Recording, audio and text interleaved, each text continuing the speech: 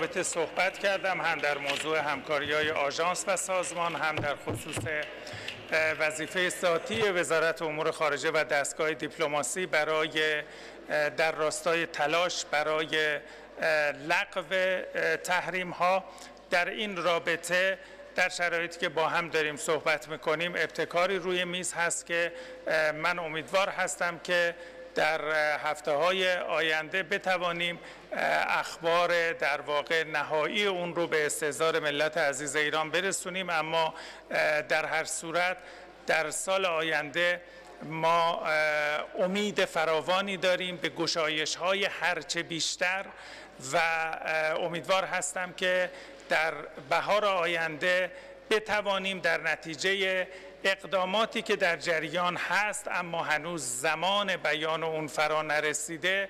حامل اخباری بسیار امید بخش و خوشحال کننده در راستای گشایش های متنوع برای ملت بزرگ ایران باشیم. ما بسیار خوشبین هستیم.